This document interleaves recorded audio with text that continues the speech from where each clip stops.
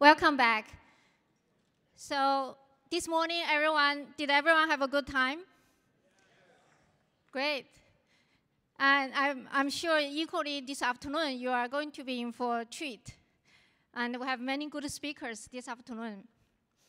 So first, uh, I'm going to introduce our afternoon keynote speaker, Percy Liang. And Percy is a professor at Stanford University. He is the one who is the creator of the SQuAD dataset. And how many of you know about SQuAD? Yes, I saw many hands. And SQuAD is the uh, dataset that helps uh, we to solve the machine reading comprehension problem by giving a machine a text, a paragraph text, and uh, ask a machine questions like uh, when you take a SAT, take a GRE exam, where how can uh, you, they, you are asking to understand the meaning of the text. And so Percy created that dataset two years ago now um, there's many development on that that basically help the whole community to uh, develop technology on that. Um, but Percy's research goes beyond just uh, text understanding. He's doing a lot of work on um, machine uh, AI in security, which you, you probably all heard this morning. So without further ado, I will uh, invite Percy to the podium.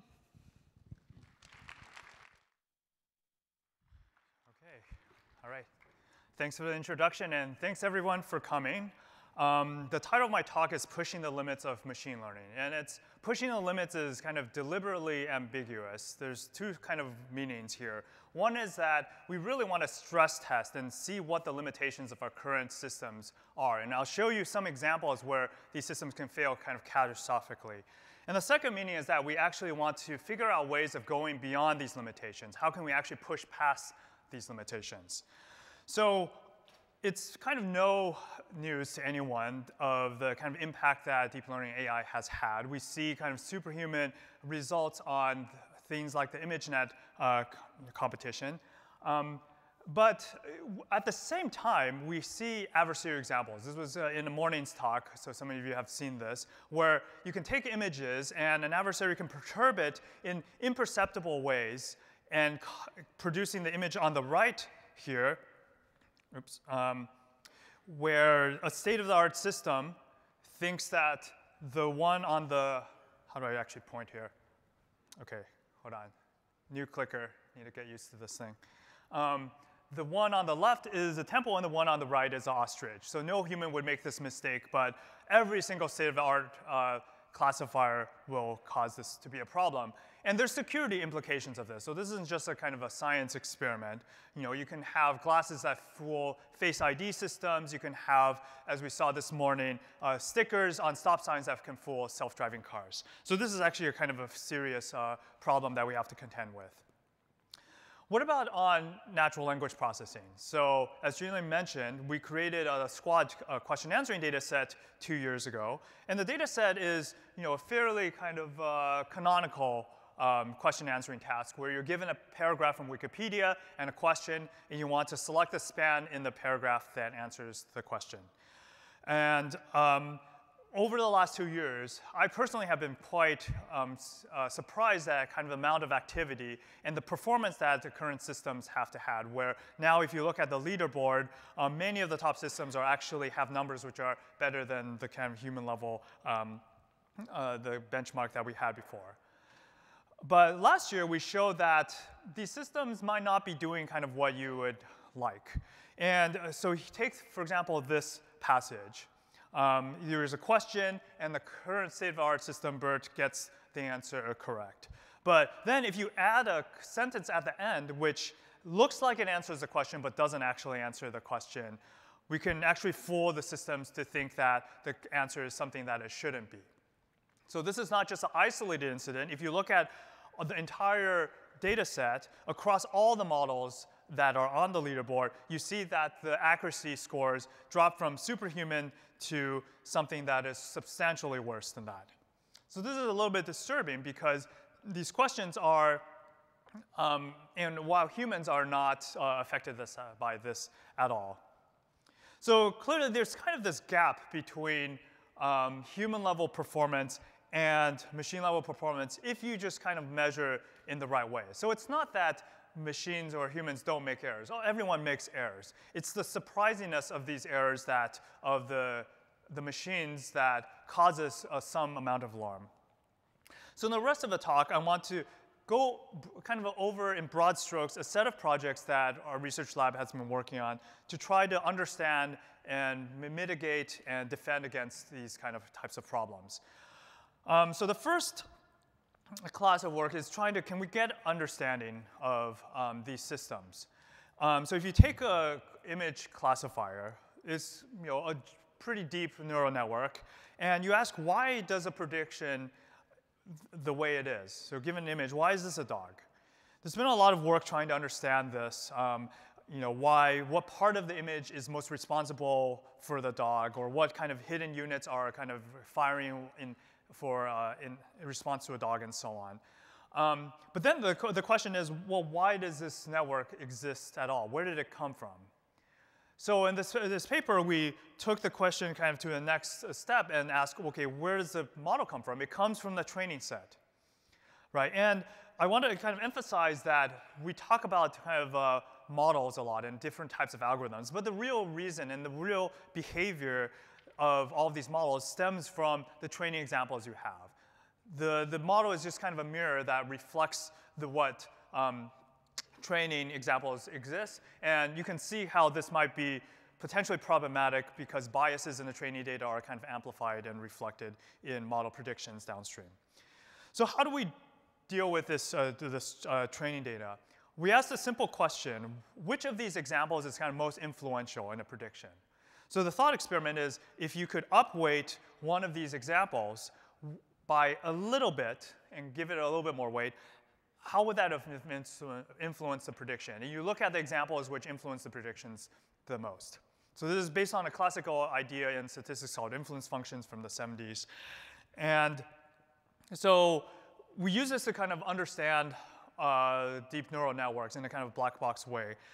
But it turns out one thing that we didn't anticipate in this project is that understanding means that you can also attack a system. So once you know something really well, you can actually attack it. So we did this experiment where we had um, a, a, test example, here this, um, this dog with a, a fish there, and you can perturb it, just like in a spirit of adversary example. You perturb it a little bit, and you can change that and then you retrain on this example instead of this example. And if you don't see any difference between the two, that's because you're human. Um, and once you do that, then the test set, all of these dogs uh, are, which were highly uh, confidently classified as dog, now they flip to fish, which is pretty disturbing, I think. Um, so, so you can do a lot. There's more we can say about this. Um, but really, I think you know, this is, reveals a problem, but what can we kind of do about these problems? Um, so you can think about what's going on as a game, right? There's a game between a defender who's trying to train a model that has good accuracy and an attacker who wants to create examples or perturb examples that cause the defender to fail. And um, with any game, it quickly becomes a kind of a cat and mouse game. So since the uh, discovery adversarial examples in about 2014, there's been a flurry of work. There's over 100 papers published um, about various types of attacks and defenses and all sorts of different kind of situations. And the problem is that there's no kind of end game to this because a weaker defense can get defeated by a stronger attack and then you can have a, a defense that guards against that attack, but then a stronger attack will defeat that. So we asked the question, can you actually get robustness against all attacks? So in, in kind of when you think about uh, security or cryptography, you don't kind of worry, oh, what happens if a stronger attack? You just kind of mathematically can prove that certain types of uh, you know, protocols are secure, um, and then that's the kind of the end of things. So how can we put an end to this arms race? So I won't have time to go into the details, but the basic insight is that if you think about the attack as a kind of a vector in this high dimensional space, it's actually a very intractable uh, quantity to get a handle on. So the best possible attack which you need to defend against is intractable to compute. But we show that using a convex relaxation, we can actually upper bound the damage of the worst case attack, and we can push down on that upper bound. And then you can do things like this, where you show as the strength of an attack increases, um, this, the best known attack on this um, MNIST data set um, goes like this, and we can get an upper bound which guarantees that any future attack cannot get accurate, uh, error rates above that. So this gives us some hope. I mean, this is still, I would say, preliminary in terms of how in scale, but this gives us some hope that we might be able to um, actually get out of this, um, this loop. So we've seen so far that influence functions can help us understand models and also attack them, and then we can also try to get uh, provable guarantees about you know, security. So let's move to the next topic, which is, you know, once we, what is the deep reason for why these uh, systems are kind of failing in this way? And I think about it as really that um, these systems actually don't know a lot about the phenomenon. They're so general purpose. They don't have the kind of the, in, um, they're not really the kind of the right models. Um, and uh, if you think about just uh, doing well on average, you can get away with this. But if you want to really kind of probe the model, you can reveal all these types of weaknesses that you know, we need to do something about. So in the next uh, section, I'm going to talk about two projects which get at the idea of how can we build models that capture more of the inductive biases, more of the prior knowledge um, that will, we can show will help us um, do more robust prediction, and in particular, do something kind of more unsupervised. Because I think unsupervised learning gives you a way of um, really verifying that your model did the right thing. So here's one project. So the task is um, style transfer. So you're given at training time a set of um, reviews about uh, restaurants, and each review is labeled plus or negative. And then at test time, you're given a negative review and you want to transform it into a positive review. So this is doing text generation.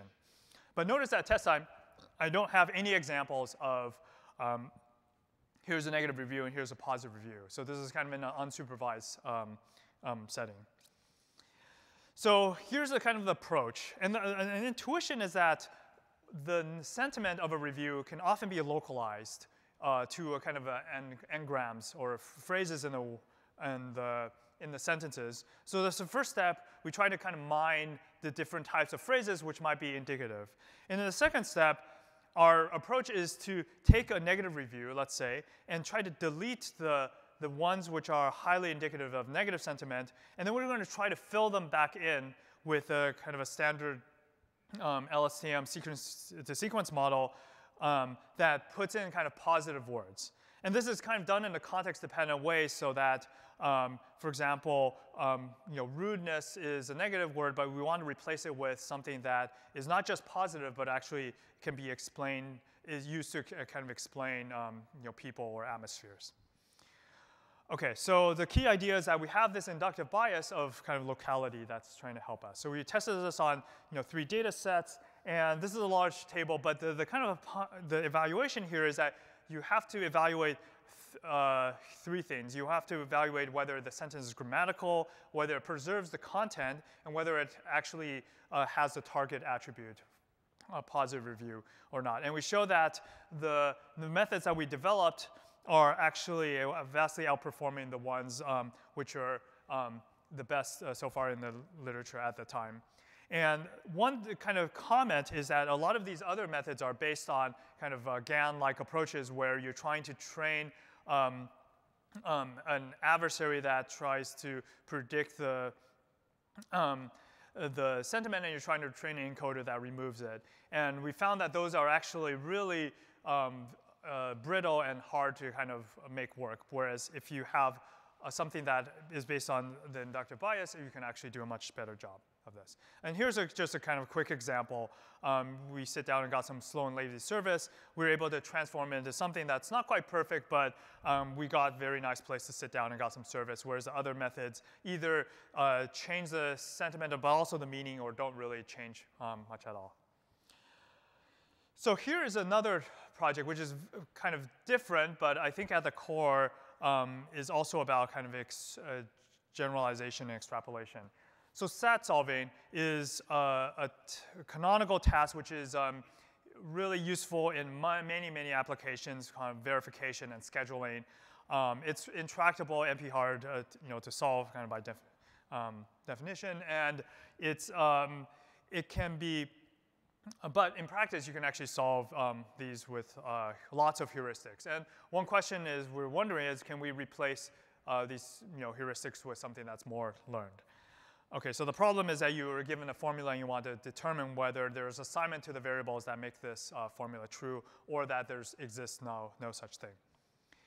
So we develop a model, and the model is based on, a it's a graph-based neural network that does message passing. So you basically encode the variables and the, the clauses as a graph, and then you run this kind of dynamical um, system that passes messages between the variables and the constraints, you can think about this as kind of almost doing a kind of a learned computation. So normally you would design an algorithm, but this is kind of trying to learn the algorithm for approximately um, you know, solving SAT. And this is trying to capture the inductive bias of some popular algorithms like you know, survey propagation, which are known to you know, be effective in certain regimes. Um, so at training time, we give this, um, this algorithm examples of here's an instance and a single bit whether this instance is satisfiable or not. We're not going to tell it the solution, whether what, how to set the variables. We're just going to tell it that this has a solution or does not have a solution. Um, and, and we get 85% you know, accuracy, which is you know, kind of way above um, chance. But the thing that's actually really interesting, if you peer deeper into what the neural network is doing, you kind of see over time, um, you know, the neural net is kind of computing some things, and there's a kind of a phase transition where kind of a, you can think about it as a kind of an aha moment where it kind of figures out that, oh, here's a, my satisfying assignment, and then, you know, the, the kind of the colors all, you know, change.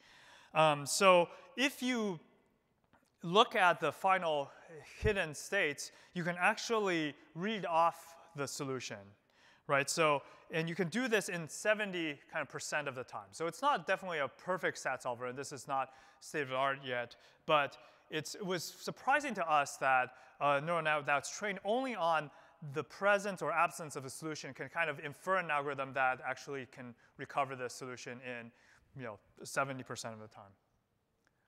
And we can show that this also generalizes to larger instances, um, although the performance does degrade. So if you double the number of, of variables that it ever saw at training time, you're still getting kind of 90% of the time you can decode the, the instances. And the more uh, iterations you run, the dynamic message passing, the better it uh, gets. Okay, so th this to conclude this kind of part of the talk, we're focusing on how we can um, extrapolate. So we train in kind of one condition, um, and then we test on another condition. And the, uh, the, idea is that if a neural net can actually do this task, then it's actually learned something. It's not just kind of doing rote memorization or pattern matching where it uh, saw something similar training time and just you know copying it. But here it really needs to we're forcing it to kind of actually learn something about kind of semantics of you know SAT or something about what is sentiment and what is you know content here. Okay, so in the final part of the of the talk, I want to talk about language. So it's very clear that machine learning has had a dramatic impact on you know, natural language processing, enabling machine translation and um, you know, question answering and many uh, applications. But what I'm going to be interested in is kind of the reverse direction. So this might be a little bit funny and foreign, but the, the idea is we're trying to think about language as a means to help learning. Um, and, and, and, the thing that you should think in your head is that you know, a lot of machine learning is trying to learn some complicated concept from kind of raw examples. So it has to do a lot of work. It has to infer all the patterns and build um, up from kind of raw experience in some sense. But if you look at the way kind of uh, you know, human learns, there is a lot of that too. But there's also language. We invented this wonderful system that allows you to not have to go hit get in the street and get hit by a car a million times to figure out that's a bad idea, but you know, you can kind of communicate. Your mom tells you, okay, cars are dangerous, you know, don't go in the street. And you can kind of use language to basically transmit knowledge in a kind of a much more efficient way than to try to learn everything from scratch. And this is something I think we take for granted, but I think it's an insight that we're going to try to leverage here. So here's one example of a project that we were um, looking at here. So the, the setting here is we're trying to interpret natural language commands. So add two chairs five spaces apart. And we want a, a system that can actually build the thing. You want to transform into a sequence of actions where you can you know, put, blocks together and so on. And this is, if you had you know, a million examples of just examples of um, chairs and sentences, this, this would actually be a very hard uh, you know, task to solve. Um, because the kind of this action sequence that you need to conduct this is you know, very, um, very large. But if you were trying to teach a human how to, how to do this, what would you do? Well, you might say, okay, what, what does that mean? That means add a chair, move five spaces to the left, add another chair. Okay, but maybe you don't know what chair means. So let's say, okay, what is a chair? A chair has four legs, add, you add the chair base, and then you add the chair back, and, and so on. Right, so and then maybe you don't know like what legs means, and you can kind of dive down further. So in this way, you can kind of explain, using natural language, these concepts in kind of a much more structured way than trying to just throw all the data at kind of a wall and see what kind of sticks. So we built this interface, and it looks like this. So um, users use the system to build various sculptures. And the way it works is that the user uh, communicates the system only using natural language. And if the system understands, great. If the system doesn't understand, the, the user can teach the system on the fly um, and say, okay, here's how you add a yellow palm tree. You can kind of execute, explain the steps, and then the system now gets a little piece of information that it can improve on the fly. So now next time the user says that, the system has a better chance of being able to understand that, and so on and so forth. So we ran this uh, experiment on Amazon Mechanical Turk. So over the course of three days, we had about 40 users come and we gave them uh, instructions, uh, some kind of sample things to build, but then let them kind of um, just be creative and build various sculptures. We had a leaderboard and everything. Um, and I personally was quite impressed by the kind of creative ability of some of these um, workers. Um, they were certainly, these are things I, I couldn't do. Um, they were able to build all sorts of kind of sculptures, and in the process, teaching the system kind of what you know, ship or a chair and all these things meant. So one thing that I want to kind of, you know, th this project has kind of many different angles. The thing, thing I'm trying to illustrate here is that by uh, allowing your kind of changing the paradigm, so to speak, from kind of just having input-output pairs to kind of a more interactive one where you can build up concepts incrementally over time can allow you to kind of achieve a lot you know, more than if you were constrained by the kind of the standard framework. And it also, I think, uh, illustrates another point about natural language, which is that language is, um, is not just text on the, on the page that you want to analyze, but it's a mechanism for users to be able to communicate with systems and uh, it's kind of something that evolves and adapts organically. Both the system and the user kind of adapt at the same time. Okay, so just to kind of summarize, we talked about three different kind of areas. In the first area, we talked about how we can understand better what these deep neural networks are doing because at, this, at the kind of superficial level, they're just, you know, lots of, you know, um, neurons and connections, and we really can't understand them very in the kind of the uh, classical way. So we have to develop tools to do this. We also saw that we can defend against adversary examples, at least in some setting, by appealing to kind of more um, optimization, where we can guarantee that adversaries can't exceed a certain error threshold.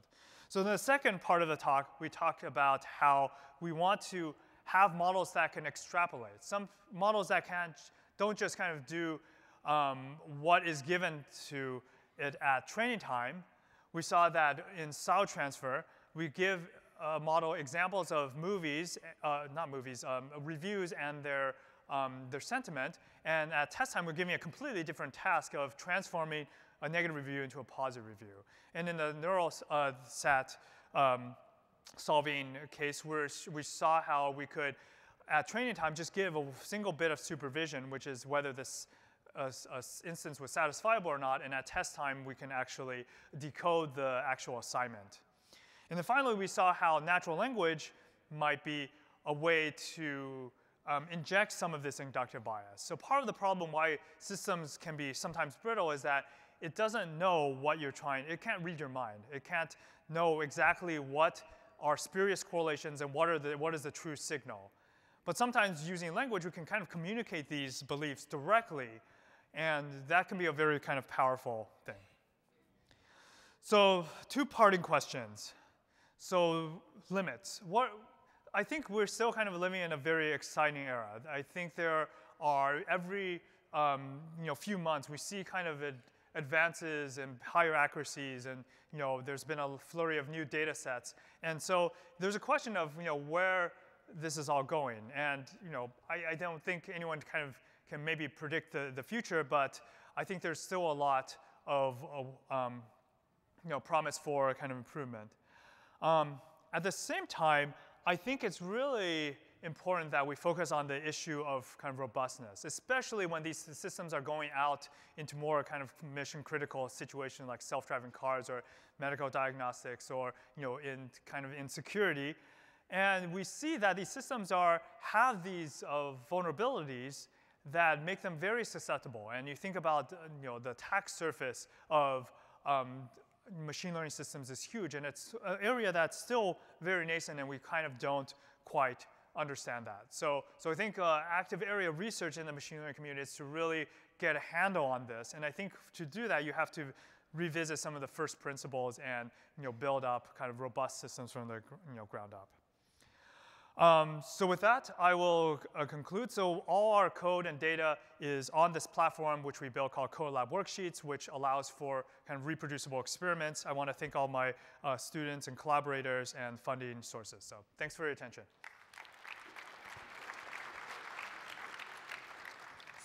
Thank you, Percy. Now we are open to the audience for questions. We, because we started late, we may only go for one or two questions. So the first one over there.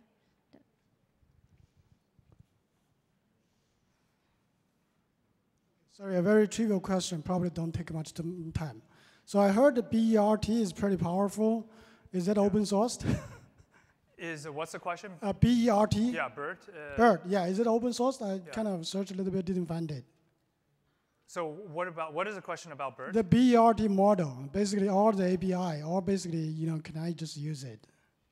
Yeah, so BERT, uh, I mean, is this uh, thing that was came out of Google AI, for, for, those of you who don't know, that is able, basically you use a large amount of uh, training data to pre-train um, contextual word embeddings, and it allows you to bump up the accuracy on many state-of-the-art NLP tasks. So this is a very powerful technique, and um, I think people should use this if they want to kind of increase the the accuracy of these models. Um, one thing I do want to point out is that it doesn't solve the kind of robustness issue because we actually ran the BERT model on that a question answering example, and even BERT was not able to answer that you know, correctly. So um, that's kind of an orthogonal direction.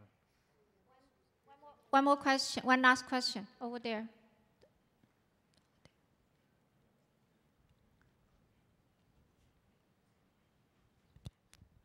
very nice presentation. Uh, so I just have one question about uh, in uh, one of your results, uh, you had compared uh, different iterations of the model with uh, the actual human. And even the humans did not have like 100% score. So I was wondering like what was actually the, how the ground truth was created. The humans are also not uh, able to do like uh, 100%. So Yeah, so that's a good question. So the ground truth was created by having uh, several humans trying to answer the same question and then seeing how much they agree, essentially. So humans obviously make errors, and some of the questions are hard. And also, we're using mechanical, you know, Turk, so there's some noise there. Um, so, but but in uh, many of these cases, the human level accuracy is still, you know, uh, way above the, the kind of this, the best system accuracy. In other cases, as you saw, the system was actually above the humans because it's actually probably doing some form of denoising. Great. Let's thank Percy for the talk.